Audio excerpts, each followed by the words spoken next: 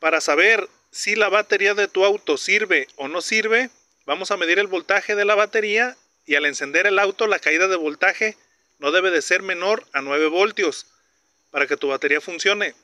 Y si baja a menos de 9 voltios, tu batería ya no sirve y tienes que reemplazarla por una nueva. Entonces vamos a dar arranque y vamos a ver a cuánto es a lo menos que baja. Ahí va.